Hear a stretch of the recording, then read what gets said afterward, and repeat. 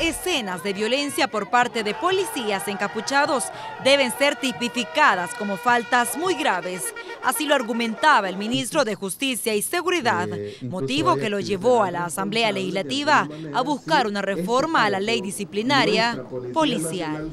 pueden tener una sanción de suspensión del cargo sin goce de sueldo hasta de 180 días o la destitución del responsable. En medio de la petición las opiniones se dividen. Algunos piensan que esa modificación urge para evitar más actos violentos, otros que las reglas del juego están plasmadas. El problema es el incumplimiento de estas.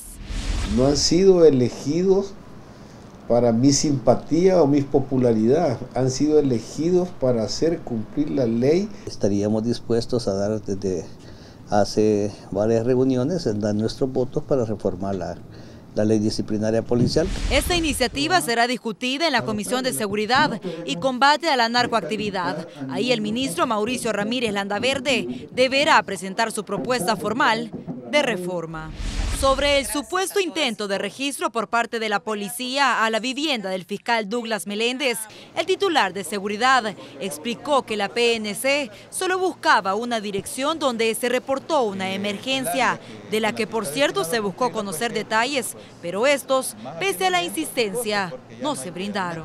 ¿Y qué no es esa emergencia que supuestamente atendía la Vaya, eh, les reitero, el 2 de septiembre hubo un llamado de emergencia que dirigió un patrulla a la zona donde está ubicada la residencia.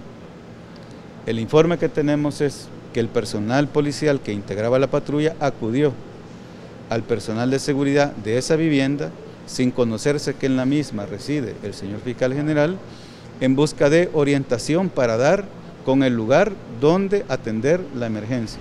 Luego de evadir los detalles de la supuesta emergencia, confirmó que desde anoche el exfiscal Luis Martínez ya goza de medidas sustitutivas al salir de la División Antinarcóticos de la PNC.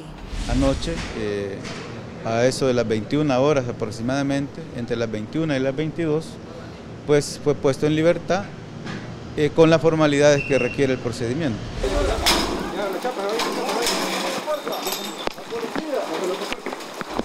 En otro caso, 15 personas fueron capturadas, incluyendo a un exdirector de aduanas y agentes aduaneros, por su presunto vínculo a una red de contrabando de mercadería y falsedad ideológica.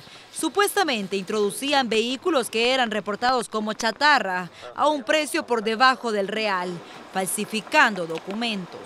Se ha capturado a un exdirector general de aduanas, el señor Joaquín Eduardo Roda Beltrán, que fue director general de aduanas en el año 2001.